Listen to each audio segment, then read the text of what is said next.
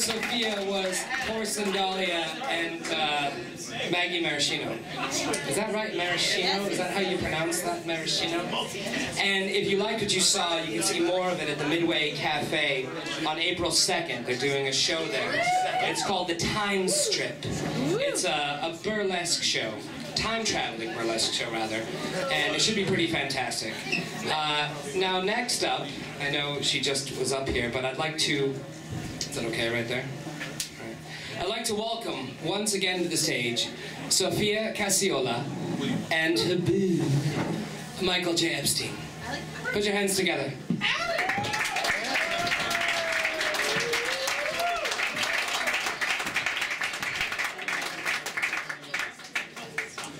Hey, Sophia.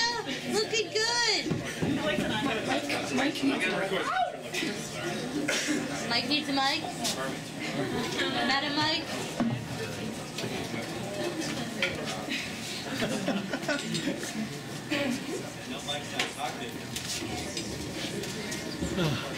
He has, he has a thing about his voice not being heard. I don't know.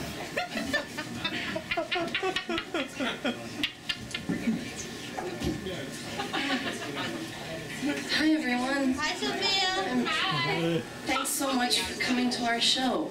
Um, we're really happy that you could make it here for vaudeville night at Precinct.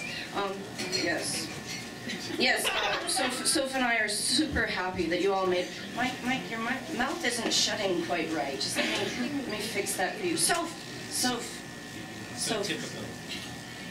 I have to talk to you about something. Mike, front of all these people, this isn't really the time to have a personal conversation. So, so this is exactly the sort of thing that these people have been have been saying about me that, that I can't do anything for myself. When when they write about us, they only use your name. They never credit me on any of our projects, on, on any of our bands, on the 10 movie, anything. They just say Sophia Cacciola project, another Sophia Cacciola side project, another Sophia Cacciola this. In fact, on my band, on the Michael J. Epstein Memorial Library, people have told me that they think that you write all of my songs. Mike, I don't think anybody really thinks that. So, so, I've heard people say this. Mike, you're being silly. No, so I, I was in involved in music years before we were married. I mean, I mean, are you talking about that silly goth band you had in college? Look, Binary Test Record had a great following in Binghamton, New York. I was small, but it was very vehement. Mike,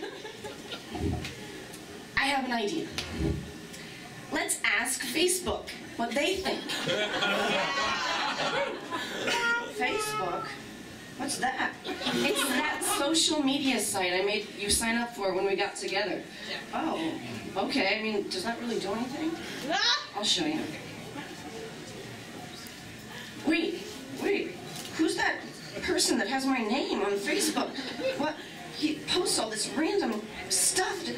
So, have you been posting my account on Facebook all these years?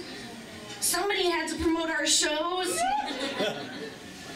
so, uh, what, what is this? Look, look, Mike, let's just ask. Let's just ask. Okay, so I'm gonna write Facebook. Who do you think does more work? Mike or Sophia? Send. Okay, so how does this work? All right, so so I send out all of my thoughts onto Facebook, and then Facebook adds its thoughts to my thoughts, and then it becomes this whole big pool of people's opinions and ideas and poor spellings, and it's this great thing. In capital letters. And, and all capital letters. So An exclamation point. so it's like, the, so it's like the Borg, is what you're saying. Yeah, it's like the Borg if the Borg was full of narcissists. Okay, okay, people are commenting. People are commenting.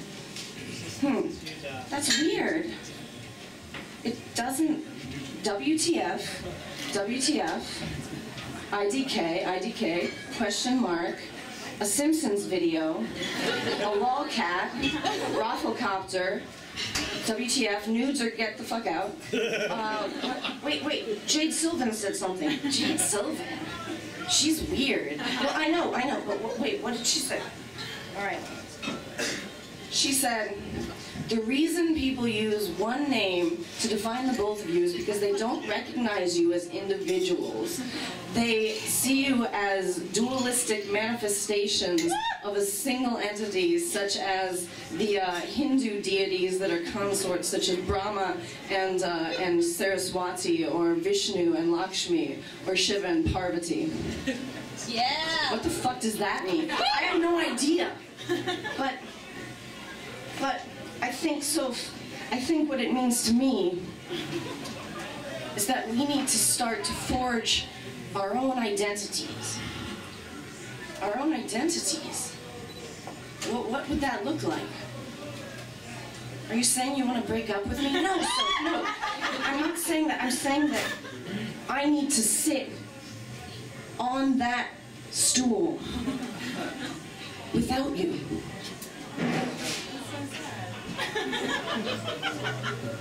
Okay, Mike?